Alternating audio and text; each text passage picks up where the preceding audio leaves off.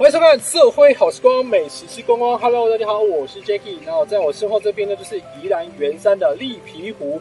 那现在因为快春天了，所以就已经钓的差不多了。不然的话，其实这个落雨中蛮美的啊。有时间呢，大家可以来这边走走喽。好，那来到呢宜兰的圆山呢，听说有一条街专门在卖鱼丸米粉，究竟哪一间好吃呢？那我们就来品尝一下吧，Go！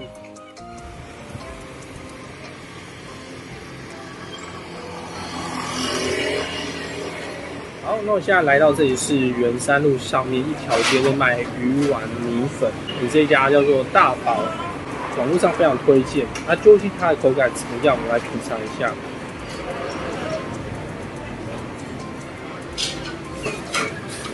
那个鱼丸是现捏的口感，所以它没有像人家卖那种冷冻的那种硬硬的，它是比较软，而且又有一点鱼的香气出来，软 Q 软 Q 的。那米粉不太一样的是，在新竹它可能是比较细，但是它是比较粗一点点，超出产的东阳东阳东阳东阳。而且鱼丸米粉里面还有附一点点阿给鱼丸米粉之外，还有非常推荐的它酱面，它是用白面的方式去调理。哇！还没入口的时候就非常的香了，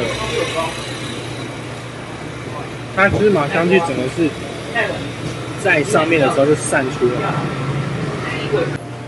大家吃的觉得说，我米粉也想要加一点点芝麻酱，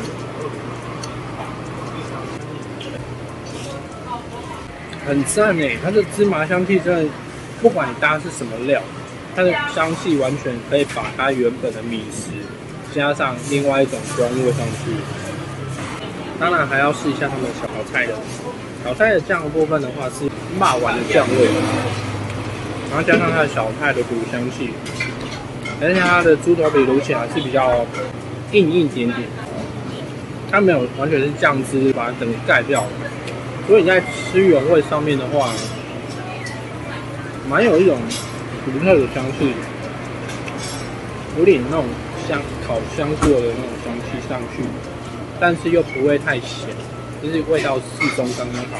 它只是加了酱之后，那酱料甜甜的就带上去不一样的口感。来到圆山这里，推荐给大家大宝啊鱼丸米粉，还有就是它的麻酱面，这两样超搭，而且你就可以吃的很饱。分享给大家，记得帮我的 Facebook 以及 YouTube 按赞、留言、加分享。